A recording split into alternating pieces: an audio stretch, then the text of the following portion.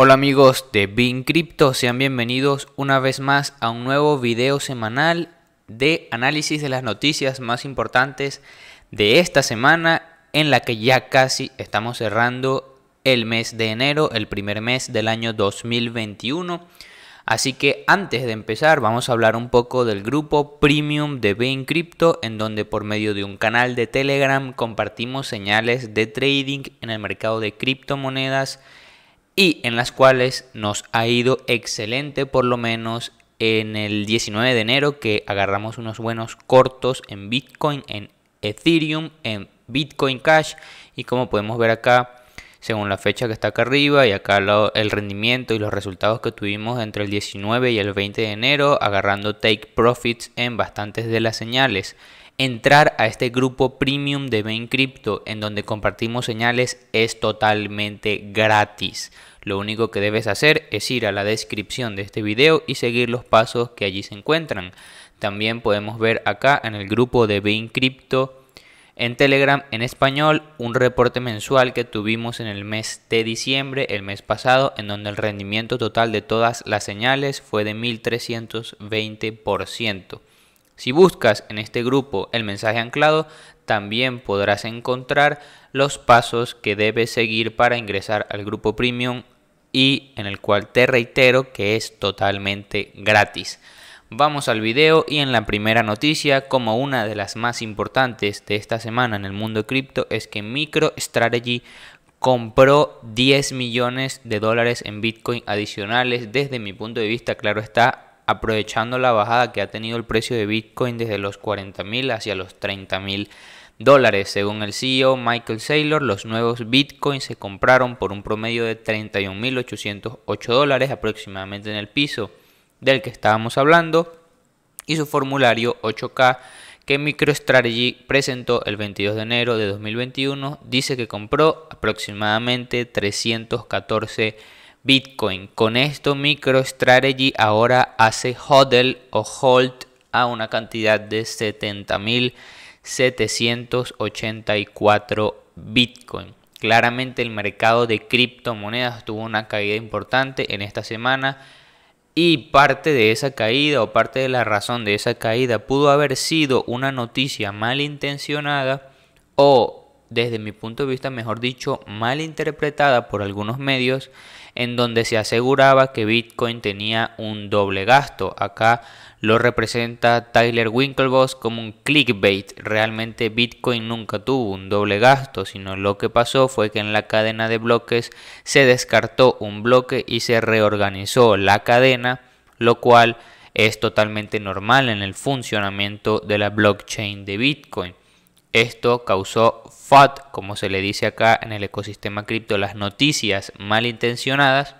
Y bueno, a partir de este momento podemos empezar a hablar de las buenas noticias para Bitcoin. Es que por lo menos Willy Wu, que es un gran analista on-chain, es decir, que analiza la blockchain de Bitcoin, publicó hace poco este gráfico en donde podemos ver básicamente la liquidez de Bitcoin que hay y estamos en el punto en donde Bitcoin es más escaso que nunca. Las monedas se están moviendo fuera del mercado hacia los holders muy fuertes, los cuales mantienen acumulando sin vender en rojo, es decir, aquellos holders de Bitcoin que acumulan Bitcoin y no lo quieren vender se representan acá por las barras rojas y como podemos ver estamos en máximos históricos de este comportamiento en especial. Un, algo completamente extraño ya que el precio de Bitcoin ha estado subiendo. Se podría sugerir que se aprovecha para vender, pero no ha sido así. Aún no quieren vender. Estos comportamientos son contrarios por lo menos a los que tuvimos en la subida del año 2019 hacia los 13 mil dólares, si no mal recuerdo, en donde como podemos ver acá muchas barras verdes significaron que muchas personas estaban dispuestas a vender. Vamos a la siguiente noticia y es que el ecosistema Polkadot obtiene un fondo de capital de riesgo de 10 millones de dólares. LD Capital de China anunció el lanzamiento de un fondo del ecosistema Polkadot por 10 millones de dólares. Tuiteó el anuncio eh, sobre el inicio del fondo del ecosistema Polkadot el 21 de enero, aunque no es una cantidad importante de dinero, se trata de una empresa que está invirtiendo capital de riesgo hacia un fondo destinado a Polkadot. LD Capital es una de las firmas de capital de riesgo más antiguas de China centrada en la tecnología blockchain. La compañía invirtió anteriormente en Quantum, VeChain y EOS. En este caso, eh, tenemos una empresa entrando en el ecosistema de riesgo de Polkadot, lo cual es bastante, bastante interesante. Sabemos entonces ahora, volviendo a hablar sobre el precio de Bitcoin, lo que tenemos es que Grayscale compra 16.244 Bitcoins en un solo día. Esta cantidad de Bitcoin es increíble y no se imaginan lo que representa realmente. Bloomberg afirma que Grayscale es la clave para que hacer que Bitcoin regrese por encima del nivel de 40 mil dólares.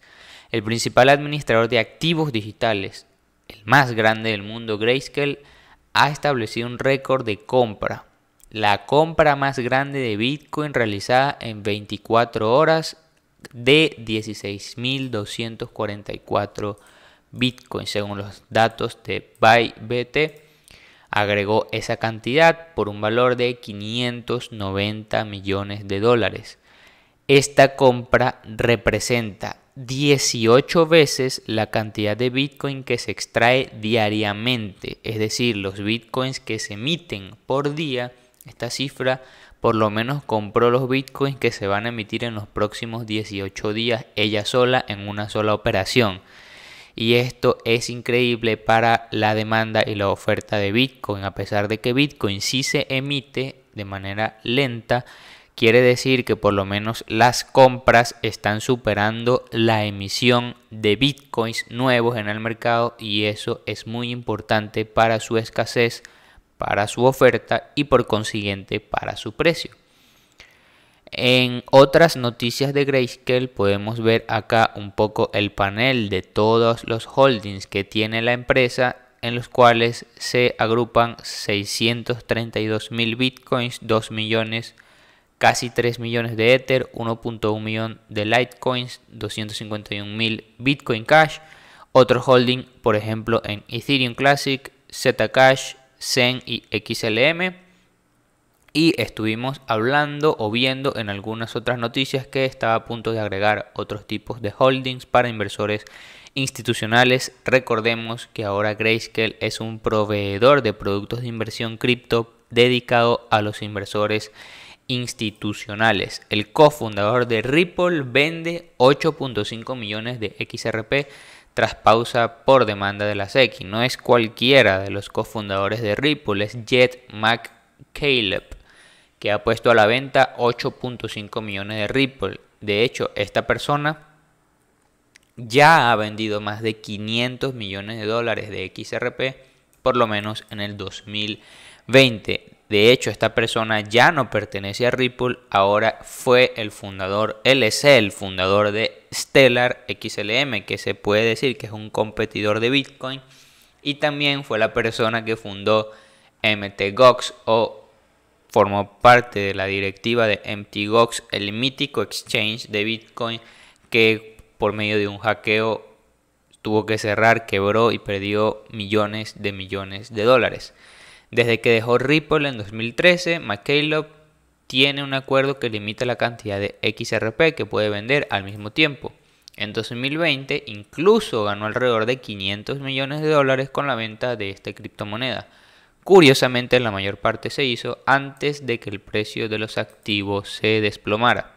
Es también el fundador de Stellar, como decimos acá, y podemos ver cómo desde mi punto de vista también Ripple y XRP se está diluyendo en una centrífuga bajista en donde está teniendo una muy mala historia, un muy mal momento y está dentro de un hueco en el que se le está haciendo muy difícil salir.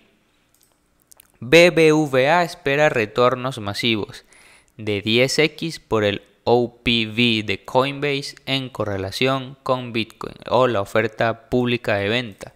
Sabemos que Coinbase quiere salir a bolsa y ante esa salida a bolsa se estima la valuación de Coinbase en 28 mil millones de dólares según Mesari. Lo que sucede es que BBVA invirtió en Coinbase en el año 2015. Se sumó como accionista por parte de una ronda de financiación de serie C.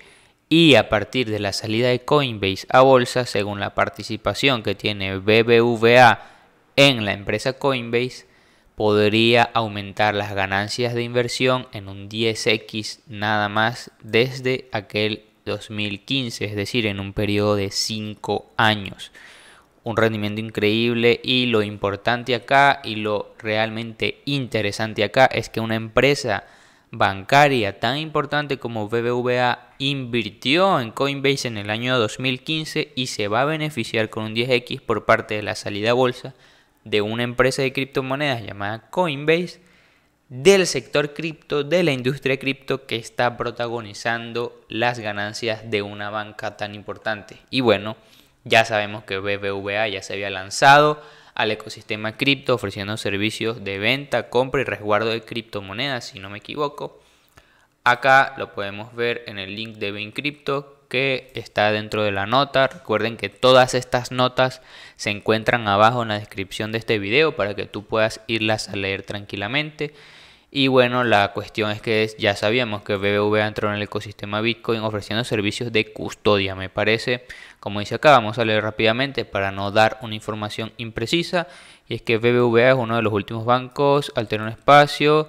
Ah, BBVA, después de varios rumores, el banco, mejor conocido como BBVA, anunció públicamente que ofrecería servicios de compra, venta y custodia. Estábamos en lo correcto con compra, venta y custodia les recomendamos las lecturas más interesantes de esta semana. Regulaciones sobre stablecoins, positivas o negativas para la industria. Tenemos varios puntos de regulaciones que atacan a las stablecoins. Tenemos el documento de Stable Act. Tenemos recomendaciones de expertos o comentarios de expertos que hablan sobre este tema. Tenemos las participaciones de la OCC que quiere regular a los protocolos DeFi desde un punto de vista muy interesante y también hablamos sobre si Bitcoin es una burbuja, bombas financieras y crisis mundiales anteriores y hablamos sobre el FAT por el caso Tether, un documento que salió de hecho esta semana, si no me equivoco, hablando y esto es parte muy importante de esta periodo semanal de noticias en el que supimos que una persona anónima redactó un artículo hablando sobre Tether de una manera negativa, renovando y recordando aquella teoría conspirativa de que Tether no tiene el respaldo de los USDT y con los USDT sin circulación, sin respaldo, quise decir, está inflando el mercado de criptomonedas. Para esto no ha habido nunca ninguna prueba fehaciente ni clara de que esto esté pasando pero esta persona con el artículo que se tituló The Big Short, haciendo referencia a la película The Big Short, pues reanudó en el ecosistema cripto este miedo sobre qué pasaría si Tether realmente no tiene los USDT, no tiene el respaldo para los USDT que emite y qué pasa cuando en el mercado de criptomonedas tanto volumen depende de USDT de esta criptomoneda. Este artículo, este análisis está bastante, bastante interesante y acá abajo en la descripción de este video también lo pueden tener. También abajo en la descripción de este video tienes el link al video de análisis técnico semanal en donde analizamos las ganancias que nos dieron las altcoins en estas dos semanas. Y sin más, nos vemos en un próximo video. Dale like si te gustó, suscríbete al canal de BinCrypto para que veas estos videos todas las semanas y nos vemos en una próxima edición. Hasta luego.